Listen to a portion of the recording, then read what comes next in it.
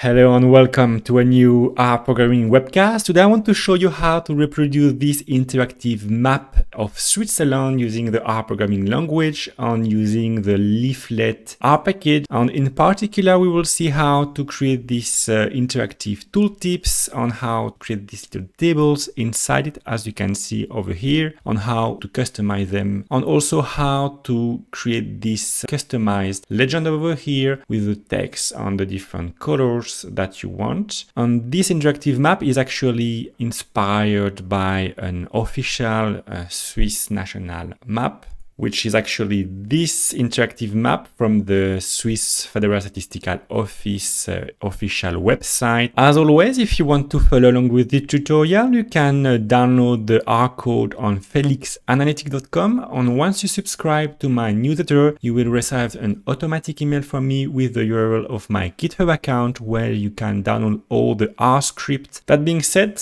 let's get started in RStudio by installing the necessary R packages on loading them. So we'll need the tidyverse for general data wrangling, the BFS R package, which is a package I uh, develop and maintain to get the data from the Swiss Federal Statistical Office, the leaflet R package to access this uh, JavaScript leaflet library, an extra package to access uh, other extra functions, the SF package to work with simple features in R, and the knitr package to use this kable function. Now, as always, I want to show you the full process to reproduce this interactive graph. So first we want to search the dataset we want to work on. And using this function, we will get the full list of all the tables that contain the last and names keywords. All right, now that it's downloaded, we can have a look at this data frame and see we have eight different data datasets that contain last names from Swiss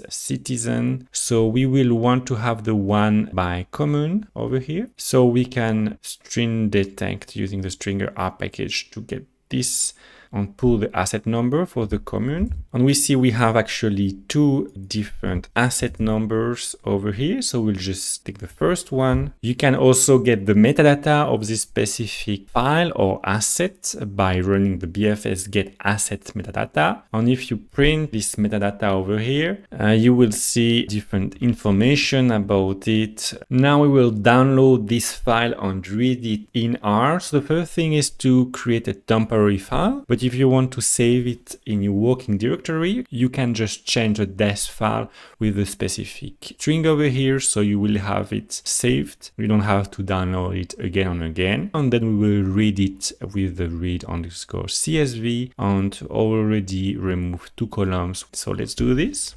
Right, now our dataset has been downloaded and is accessible in R. So we will do some quick cleaning. First, we want to get the top five of the uh, last names by communes. We run this code over here using tidyverse functions. Now we want to create this HTML table. So for that, I created this function over here. Let me show it to you fully. For each commune name, so GDE, which stands for Gemeinde in German, one, we will take one unique Swiss commune and create a kable table as a, in an HTML format with the Swiss commune at the top so now if we run this uh, create table function on the given uh, Swiss commune, for example, Aadorf over here, the output will be this uh, HTML text over here. So it's indeed Aadorf. And now that we have our function, we will loop over each Swiss commune and add this HTML uh, string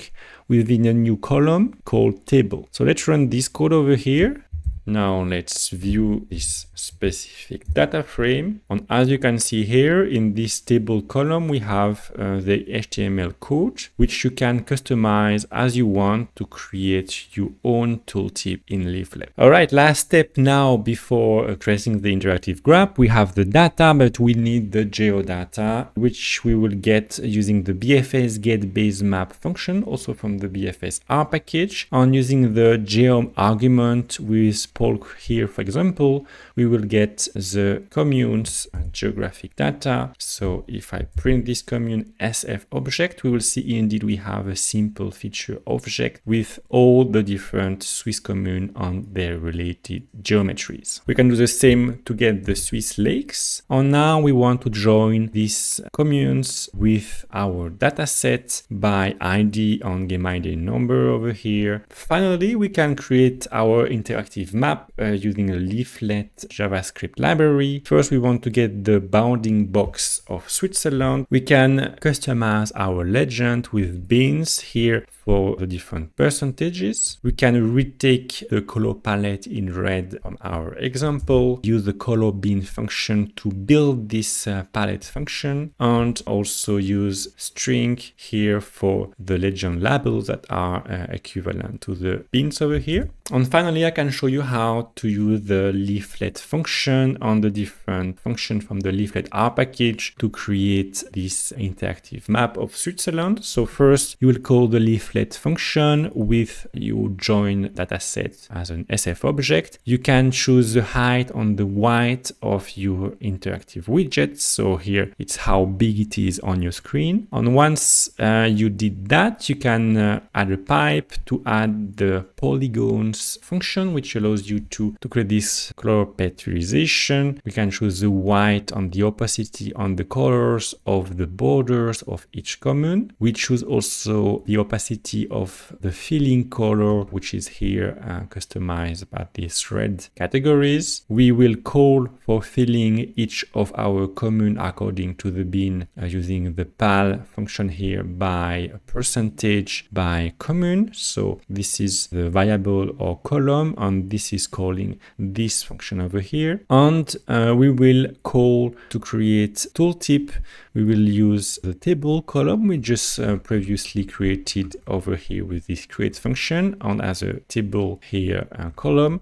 So this is this variable. We will use the lapply function to call on HTML uh, function of the R package here that I forgot to include in the loading of the script. So I will add it after I finish making this video. So once you download your script, you would have it also installed. So let's run first this chunk of code. As you can see, we have our interactive graph already with the labels. So it's the tooltip that is here. We have our zoom that we want to customize a bit later. And we want to add the legend as well as removing this gray background into white. And we want want to add the lakes that are missing. So we'll do that now. So first we want to add the lake. We want to add in the tooltip only the name of uh, the lakes using the name. We don't want to add any border and these lakes will be filled with this gray color over here. So if we run uh, this code over here, as you can see, we have our lake in gray. Now, what is missing is also the legend. So we can add it a title with this BR HTML symbol to uh, make uh, two different lines. We can also customize the format. So this is a function I find somewhere on Stack Overflow. So you have the legend label object that we put over here as a string and then using this function with the type cuts and p arguments you will have the label correctly added and uh, we will use again the same palette. This time we don't have this symbol so uh, just notice that. And the opacity will be uh, 1 for 100% so if we run this code and we look at the viewer we will should see indeed that our legend is here and finally, I want to show you three extra functions to customize even more your leaflet interactive map. So first, we want to add this add tiles function. So you are sure you have an empty background using this URL template equal an empty string and using the options on the provider tile options function here, you can customize the zooming. So we have a minimum zoom of 8 and a maximum zoom of 12. because if the users click here, he can zoom in or out in a definite way here. So that's not what we want. We want to block the zoom so we stare at our initial zooming level, which is 8 here with the minimum zoom. So if we run uh, now all this chunk of code with the add tiles function, you will see that the zoom here out is blocked now. We cannot zoom in or out. And if you want to zoom in, we can zoom in to this level. Now it's gray. You cannot zoom more. If I click here, I cannot do it more. Now the other problem I have is if we scroll up,